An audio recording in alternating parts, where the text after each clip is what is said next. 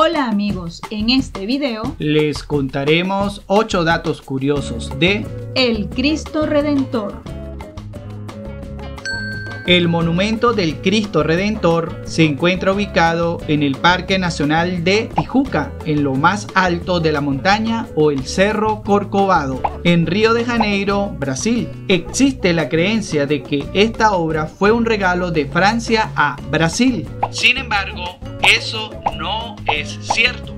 A partir del año 1920, la arquidiócesis de la ciudad comenzó la recolección de fondos para su construcción. En principio, querían construir la estatua con la imagen de Jesucristo con una cruz y un globo terráqueo que representara el mundo pero al final se quedaron con el diseño que todos conocemos, presentado por el escultor francés Paul Landowski, quien creó la estatua en piezas de arcilla. Luego, estas fueron enviadas a Brasil para ser reconstruido con hormigón armado por el ingeniero brasileño Heitor da Silva Costa y el ingeniero francés Albert Cacuot. La estatua se construyó en nueve años aproximadamente. Se inauguró el 12 de octubre de 1931. Su costo en ese momento fue de 250 mil dólares, lo que representa hoy en día unos 4.400.000 dólares. Como ya dijimos, la armazón de la estatua es de hormigón, pero está cubierta por aproximadamente unos 6 millones de baldosas o teselas triangulares de esteatita. Ok, pero ¿qué es la esteatita? Pues es una roca metamórfica formada a partir de silicatos de magnesio o rocas ígneas. Está compuesta principalmente de talco y porciones menores de cuarzo, mica, clorita, hierro y magnetita. Esta piedra es conocida como la roca de jabón, ya que es muy maleable y también muy resistente al calor. La estructura es hueca por dentro sin embargo, entrar es muy difícil, ya que se hace necesario pedir la autorización de la Curia Metropolitana de Río de Janeiro. Se estima que este monumento puede soportar vientos de hasta 250 km por hora. Tiene un juego de luces y sombras entre los relieves de los paños que lo visten y los brazos extendidos a cada lado simbolizan el abrazo que ofrece Cristo a todos los fieles del mundo. En sus manos se pueden ver los orificios de los clavos de la crucifixión y los pies si aparecen bajo el borde de la túnica, aunque no se ven desde el suelo. Un momento, algo más. Durante su construcción no se registraron pérdidas humanas, lo que es todo un récord, tanto por lo difícil que resultó ser como por la época en que se llevó a cabo. También durante su construcción, un maestro ingeniero llamado Heitor Levy vivió en lo alto de Corcovado. Es decir, vivió en el pedestal del que le servía de oficina. Ya que por su trabajo debía consultar los planos constantemente. Y como acabamos de mencionar, no se registraron accidentes fatales. Sin embargo, el ingeniero Héctor sí tuvo una caída, la cual fue considerada por los expertos como fatal y de la cual milagrosamente salió ileso. Debido a este incidente, él, que era de fe judía, se convirtió al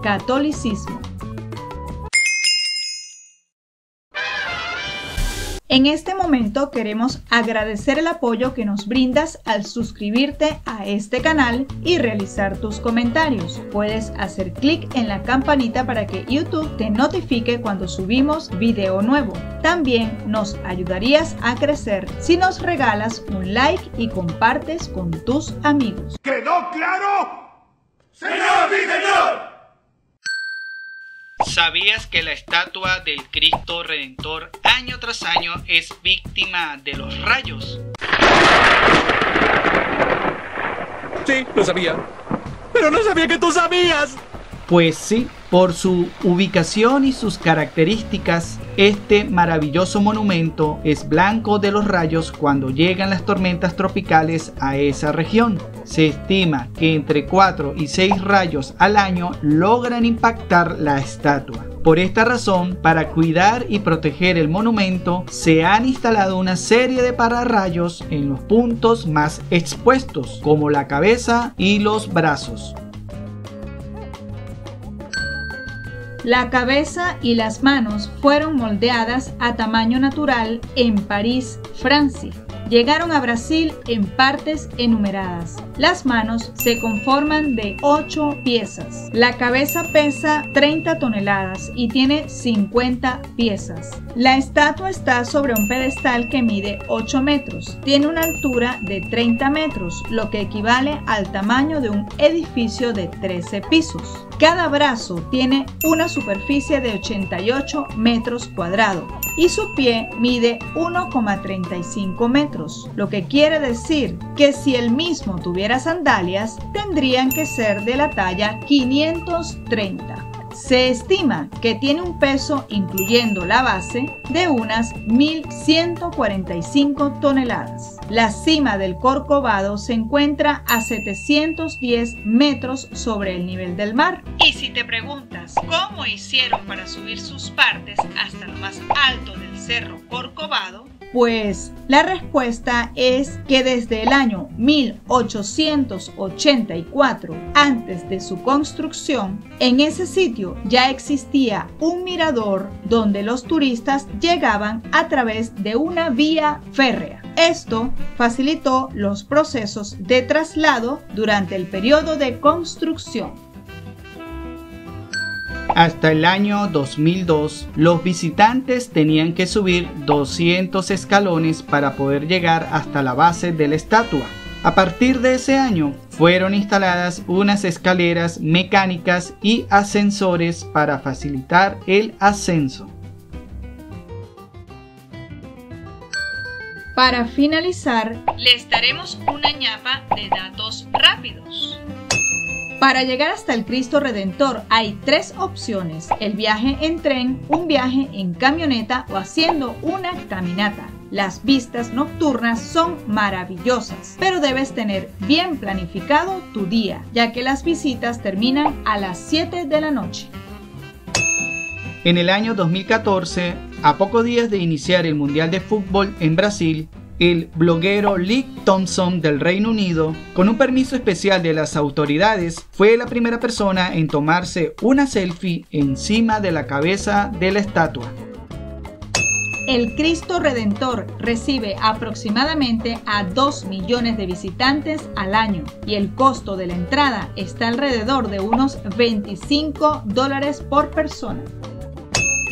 En el año 2006, para conmemorar el 75 aniversario de la estatua, se consagró una capilla en su base en honor a Nuestra Señora de Aparecida, la santa patrona de Brasil. En ella se celebran misas, bautizos y matrimonios.